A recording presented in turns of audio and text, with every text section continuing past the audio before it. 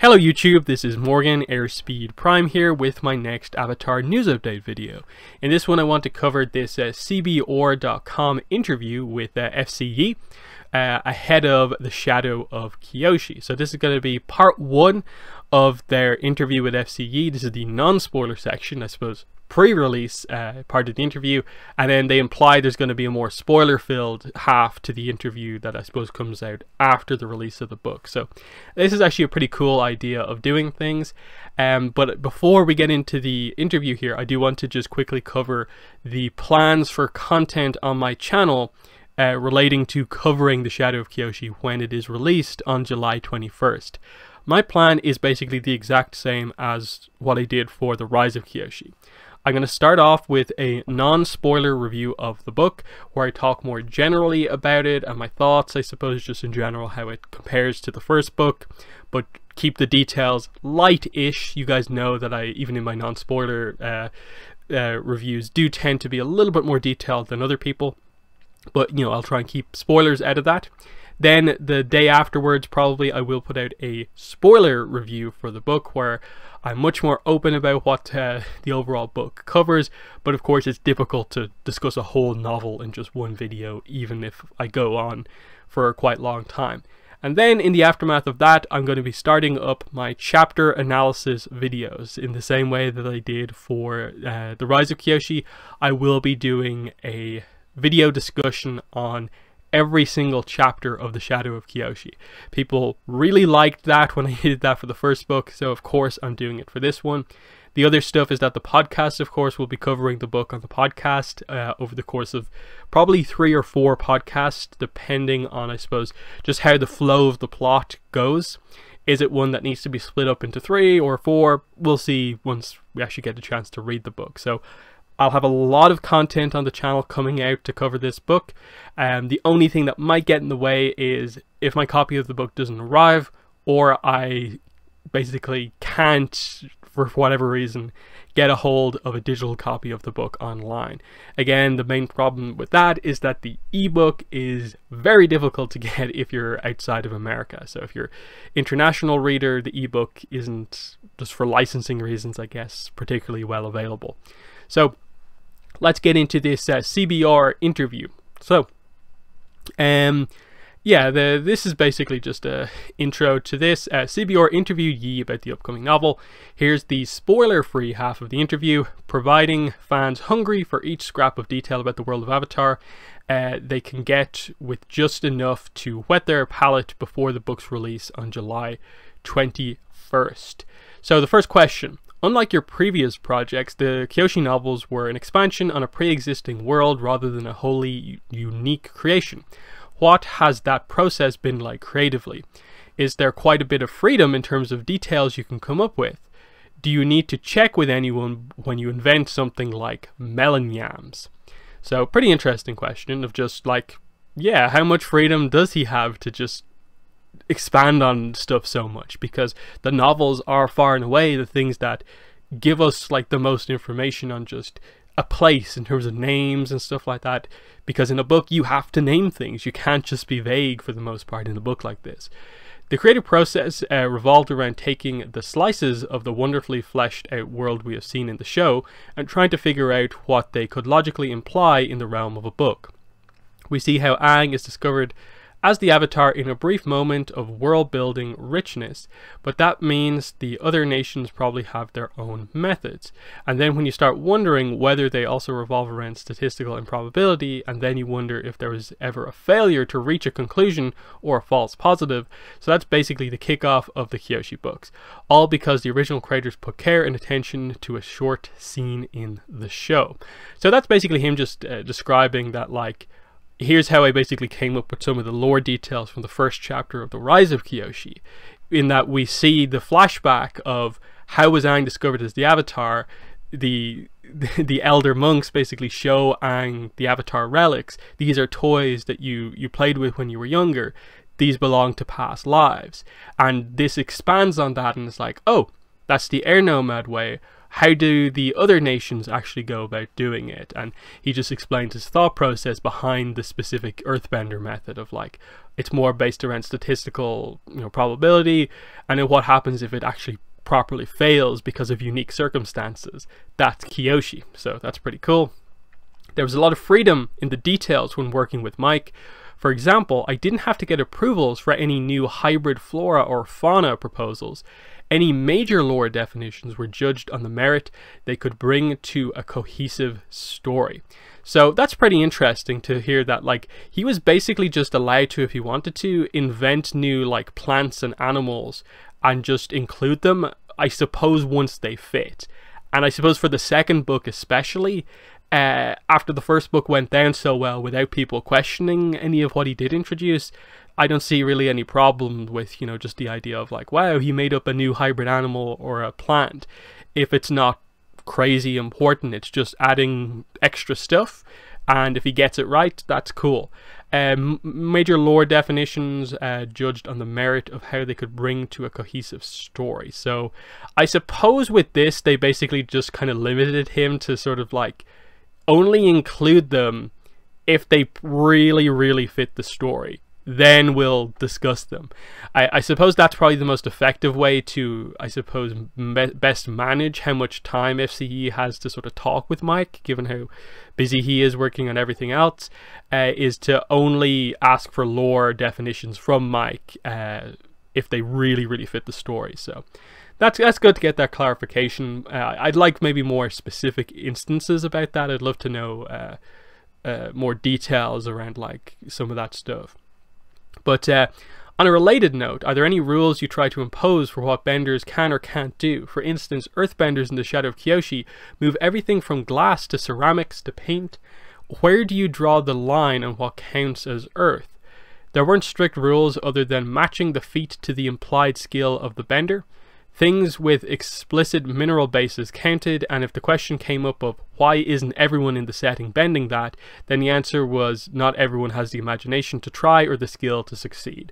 So that's actually a pretty good answer to this question of like, uh, a lot of people, I think this is potentially a problem with certain fan fictions, is that they they go down the road of like, well, theoretically, if you can earthbend, you can do all this crazy stuff that the characters in the show never do, but like seem like it would be possible. But then you realize like you have to keep everything sort of in check. You can't just have this element be overpowered because you think it should be able to do that, and instead you have to apply those clever moves more to the idea of a clever or skilled bender is capable of doing those things, but not everyone. And that's that difference between you know, setting up your average bender who maybe has never trained under a master but has just got a little bit of training or something like that versus the true masters. And so uh, basically his answer here is to, you know, the, the special, I suppose, ability in a way of just manipulating stuff that just has like the basis of earth to it rather than directly earth is that skilled benders can do that and your standard benders typically either don't bother because they're more used to just standard Earth, or they don't have the skill to do it. I think that fits in that, like we saw Yun, I think, um, manipulate um, kind of ceramic pots in the first book. Um, the big thing though is that they basically reveal here that the Shadow of Kyoshi is going to have an instance of an earthbender bending glass, which I don't think we've ever seen before, and it's always been something that people have speculated about of like is glass bending possible? I guess we're going to find that out. I wonder who actually uh, does this. I'm going to guess it perhaps isn't Kyoshi, um, but maybe it could be. I'm, assu- I'm assuming they're going to give this more to a more nuanced bender here rather than Kyoshi. But uh, that, that'll be an interesting one to see when it comes up. And yeah, that a skilled, a very, very skilled bender is going to, I suppose, do glass bending here. So that's pretty cool. Uh, what aspects of Avatar lore were you most excited to expand on in your novels? I was most excited to expand on the concept that the four nations continue to exist and operate even without the Avatar's influence. It makes the setting feel alive and the Avatar's actions feel meaningful. I personally think one of the most brilliant things uh, that the original show creators did was to have the timeline of the show become what it was in Aang's absence, rather than have the war start up and get shut down during his tenure as the Avatar. Um, I think that this is maybe a little bit of a disappointing answer to this question. In that instead of talking about like a specific aspect of Avatar lore, he more talks about it's just a very general storytelling kind of premise here. It is interesting, of course, just that idea of in the original show, the war becomes the way it is. The, the world transitions uh, from before war to, you know, in the middle of a war while Aang is out of action in the ice. And the same thing basically happens in Kyoshi's time, in that the world transitions from being sort of peaceful from Yang Chen's time to becoming as it is right now, where it's so affected by the Dao Fei and pirates and stuff like that, because of Kuruk's ineffective time as the Avatar and then him dying so young, leaving a large amount of time without an Avatar. So um, that's basically what he's talking about here of like that the Avatar doesn't always have a role in things. Stuff happens to the world even when the Avatar is not really around. Um, the Shadow of Kyoshi also gave you a chance to follow up on many of the characters and story elements you established in the previous novel. How did writing the sequel feel different from The Rise of Kyoshi, and what developments did you feel were most important to delve into? The most important development was Kyoshi's rise to prominence and her own growth, which comes easy to her in some areas and less so in others. We already know she's destined to become someone for whom no physical threat really exists on the planet, so it was important to challenge her in other ways. The first book was about her learning what she could do on a personal level, and the second is different because it's about her learning what she can do on a political and leadership level. So I think that that's been one of the main things he's consistently said about this book, uh, is just that it's Kyoshi plus uh, politics and Kyoshi and leadership. The thing is that she didn't so much have to do in the first book. I suppose we did get to see a little bit of her leadership towards the end of the first book, in that she, you know, once she got going, once she revealed herself as the Avatar, she pretty quickly became the leader of the Flying Opera Company. Um, but politi- uh, politically, that's what we didn't really see. So I suppose we're going to see a little bit more of Jianzhu's influence here, depending on how she tackles these things. So that's going to be cool. It also felt great to have more of Rangi's backstory and explain why she is how she is, because of how great a fixture she is in Kyoshi's life. So, Rangi backstory, um, that's really cool. I think this was something you could have predicted would be the case, given that we're going to be quite heavy in the Fire Nation here in this book, so it made sense that the character who's from the Fire Nation will get some of her backstory over this. Um, I wonder how much, though, this actually is referring to in terms of like is there going to be some major plot that like an event from Rangi's past comes up? Or is this just going to be Rangi telling some stuff about her childhood to Kyoshi because they're in her home? Um we got some of the details on Heiran in the past I'm assuming this may delve maybe more into Rangi's father, who was mentioned only like once or twice in the first book, so he's a little bit of a mystery. We know there was the whole like potential romance maybe between Heiran and Kuruk, but then Rangi's father came into the picture, um, so might some of that come up? That'll be interesting to see, but uh, yeah, Rangi backstory is definitely something I think everyone wants, and hopefully it delivers. The LGBTQ plus themes of the Kyoshi novels feel at once important and totally normal, neither taking the spotlight nor uh, falling to the wayside. Was the balance intentional, and if so, did, and if so, did you feel it was a hard one to pull off? What was intentional was making sure her bisexuality was fully uh, represented fully and not erased or glossed over. After that, it was a matter of difficulty. Uh, it wasn't a matter of difficulty or balance so much as trying to put it in uh, put in respect and attention, same as any other part of the book, and being mindful of the interaction between character and setting.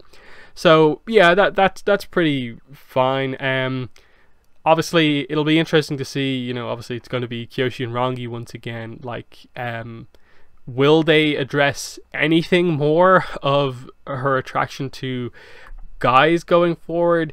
Because that's ultimately, I suppose, going to be the thing with this. Is that like it isn't particularly public knowledge, I suppose, that like Kyoshi had like a crush on Yun and that there was something going on there, especially because he's not around anymore. So, is Yun being reintroduced into this book going to make that come out again? How does it become public knowledge to the point where Kaya is going to be fully aware that it was public that Kyoshi was bisexual? Because right now it seems that like Kyoshi and Rangi are in this relationship doesn't seem like anything is going to get in the way of them. So if this book doesn't cover her potentially being in a relationship with a guy, like, have you really covered it that well? And this is where there may be issues with the Shadow of Kyoshi potentially ending things too quickly, not covering enough content that goes later on into her life to you know cover this aspect of her personality uh, all the more. But um, yeah, I suppose uh, it just means we're going to get Rangi, uh, more scenes with Kyoshi and Rangi, of course. Um, but we'll see if any more of this comes to a head. Um, so yeah, uh, July 21st is the release date. People were worried it might change, but at this stage, we're less than two weeks away from the book coming out. I don't think that is going to uh, change at all. So yeah, that's pretty much everything in this uh, interview. Uh, I guess if the spoiler interview is actually interesting, I will cover that as well. Um, but we'll see, you know, because at that point I'll have a lot of stuff in terms of analysis to cover, so it may not necessarily be something I have time for. Depends on if it actually does reveal anything new and unique. But yeah, that's been my thoughts in this interview. In the comments, let me know what your thoughts are. But that is been that has been the video. Thanks for watching, and bye.